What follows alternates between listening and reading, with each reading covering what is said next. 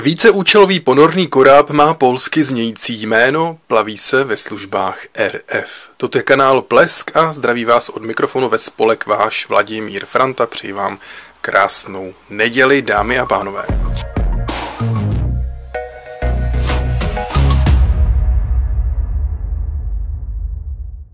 Víceúčelový ponorný koráb má polsky znějící jméno, plaví se ve službách RF. Toto je kanál Plesk a zdraví vás ve spolek váš Vladimír Franta. Námořní defilé v Petrově hradě završilo předvedení veliké diesel elektrické ponorky, která sdílí jméno s městem UFA. Prosím, neplést si s UFO.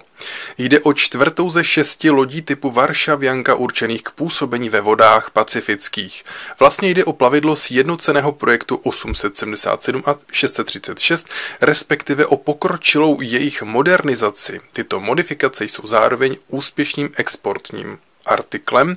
Konkrétní plavidla slouží rovněž u flot cizích zemí, takže jejich živočišně řečeno výskyty i v dalších částech světa, konečně i v Černomoří.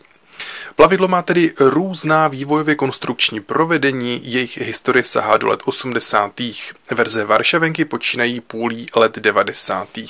My zde hovoříme o ponorném korábu pokročile modernizovaném, odpovídajícím celé potřebám dneška. Plavidlo měří zde musíme brát v úvahu občas lišící se údaje podle publikací a popisovaných verzí, čili na délku má 73,8 až 85 metrů, plavidla šířka je 11,5 metrů, je to rychlá submarína dobře ovladatelná, na polubě pojme 52 až 62 členů posádky, svým tvarem připomíná kytovce je schopna takzvané autonomní plavby po dobu 40 až 45 dnů, jde-li o ponor, těleso se dokáže hřížit do 300 metrových hloubek.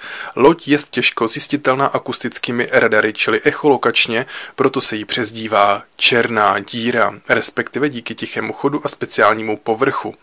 Ponorky daného projektu jsou považovány za jedny z nejtěžších konvenčních, rozuměj, nejaderných ponorek na světě.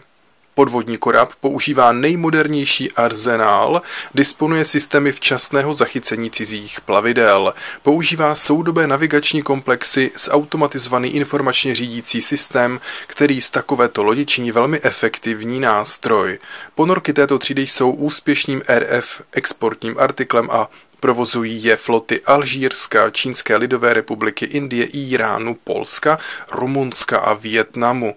Samozřejmě RF Díky jeho zdařilým charakteristikám lze plavidlo dále vylepšovat. Varšavianka byla kdysi také jedna písnička, ale to je již příběh. Jiný ten si necháme na příště. Byl s vámi váš Vladimír Franta.